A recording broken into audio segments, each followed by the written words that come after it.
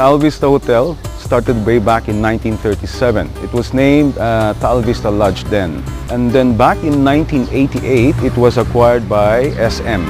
They still continued with the name, but in 2002, it became Taal Vista Hotel. It was under a, uh, another management consultancy group who was running the hotel itself. Now, back in 2010, they decided to uh, run it by themselves. So we had the SM Hotels and Convention Corporation. So up until now, it's being run directly by the Shoemart.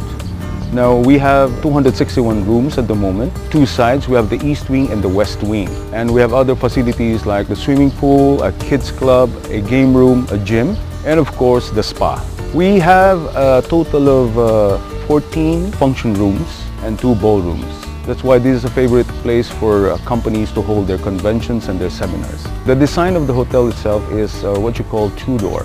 It's patterned after an English mansion. And they've retained this, you know, from way back 1937 up until now. If you really look at it, it looks like in a British mountain resort. And as well, um, for rooms, we have Superior, we have the Premier rooms, which is uh, the rooms facing the lake itself. And then we have several suites you know, in both wings. The greatest edge that we have is we have the best view of the lake and the volcano itself. The Vista Hotel is like an eagle's nest wherein you can really look the whole surroundings of the lake and the volcano itself.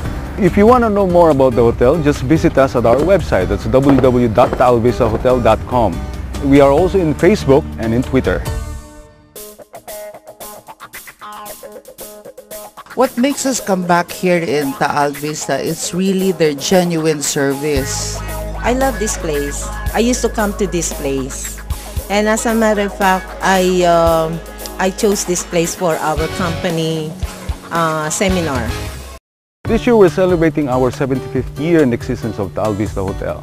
And we have a lot in store for you this year. For room packages, we have uh, special rates for one night and two nights and also with food and beverage. We're doing it at the coffee shop, uh, Cafe on the Ridge. We're doing a lot of promotions there as well. Uh, we will have a grand celebration on October 13 of this year and it's going to be a big party.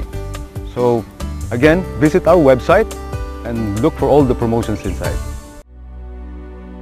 This portion was brought to you by Taal Vista Hotel,